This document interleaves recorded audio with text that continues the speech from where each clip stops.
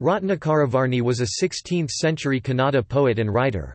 He is considered to be one of the trailblazers in the native Shatpadi hexameter, six-line verse and Sangatya composition meant to be sung to the accompaniment of musical instrument metric tradition that was popularized in Kannada literature during the rule of the Vijayanagara Empire in modern Karnataka.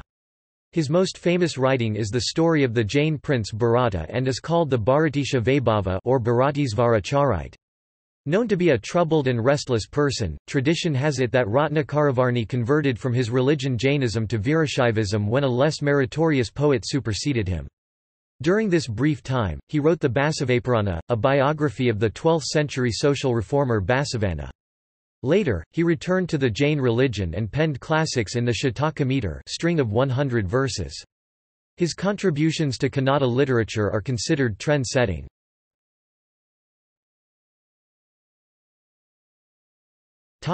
Life and works Ratnakaravarni of Mudabidri c. 1557 was a court poet under the patronage of Bhairasa Wodyar at Karkala, modern coastal Karnataka, and is famous for successfully integrating an element of worldly pleasure into asceticism and for treating the topic of erotics with discretion in a religious epic, his magnum opus, the Bharatisha Vaibhava. One of the most popular poets of Kannada literature, his writings took to a fine line between the royal court and conservative monastery. His writings were popular across religions and sects for their secular appeal.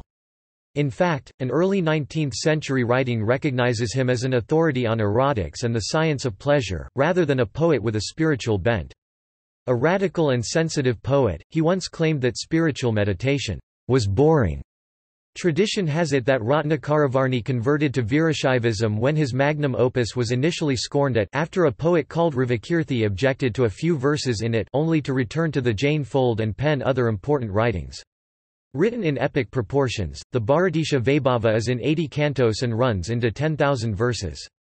His other important writings are the 2,000 spiritual songs called Anagalapada songs of the brothers", and three shatakas, the Ratnakara Shataka, the Aparahitasvara Shataka, a discourse on Jain morals, renunciation and philosophy and the Trilakya Shataka, an account of the universe as seen by Jains, consisting of heaven, hell and the intermediate worlds.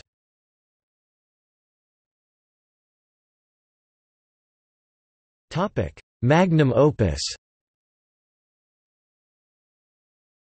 Bharatisha Vaibhava is a version of the earlier Purvapurana by Jinasenacharya and brings out a different perspective compared to the Adipurana written by Adikavi Pampa in c.941.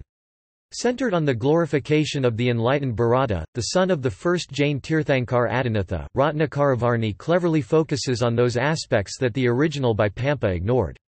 Ratnakaravarni goes into minute details about Prince Bharata, who according to the author serves as the ideal balance between detachment yoga and attachment bhoga. Though married to 96,000 women, Bharata is depicted as one who at once can separate himself from worldly pleasures.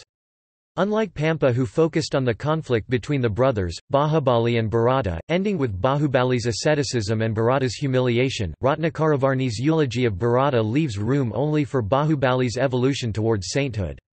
Eventually, Bharata attains moksha by burning himself in ascetic fire.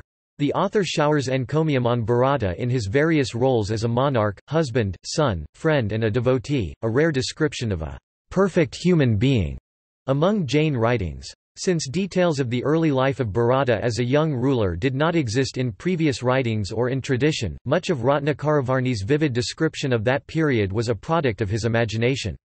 This work finds its pride of place in Kannada's epic poetry for being the lengthiest poem in the folk Sangatya meter. Notes